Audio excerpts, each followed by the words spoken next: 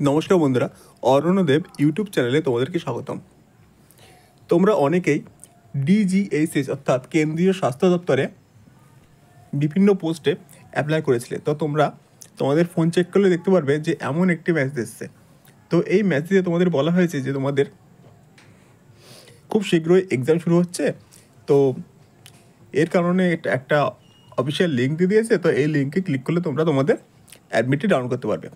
তো এই লিঙ্কটি তোমরা আমাদের টেলিগ্রাম চ্যানেলে পেয়ে যাবে। তো ওখান থেকে তোমরা তোমাদের অ্যাডমিট কার্ডটি ডাউনলোড করতে পারবে। যদি তোমরা এই মেসেজটি অফিসিয়ালি না পেয়ে থাকো। তো দেখো, প্রথমে এই লিঙ্কে ক্লিক করবে। ক্লিক করলে তোমরা একদম অফিসিয়াল ওয়েবসাইটে চলে আসবে।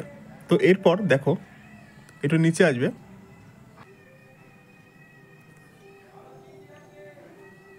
নিচে আসলে দেখো এই যে প্রথমে দেখতে পারবে অ্যাডমিট কার্ড এই যে অ্যাডমিট কার্ডের অপশানটি এখানে তোমরা ক্লিক করবে। ক্লিক করলেই এমন ধরনের একটা পেয়ে চলে আসবে। এবার এই যে লগ ইন আইডি এই লগ ইন আইডিতে তোমরা তোমাদের যে লগ ইন আইডিতে দিয়েছ, অর্থাৎ তোমাদের যেটা ইমেল আইডি তো এখানে তোমরা ওটা বসিয়ে দেবে। এছাড়া এই যে পাসওয়ার্ড এই পাসওয়ার্ডটা তোমরা যেটা দিয়েছ, অনেকেই তোমরা তোমাদের ডেট অফ বার্থ দিয়েছ, তো এখানে তোমরা ডেট অফ বার্থ ক্লিক করবে। ডেট অফ বার্থে ক্লিক করলেই তোমরা তোমাদের অ্যাডমিট কার্ডটি ডাউনলোড করতে হবে।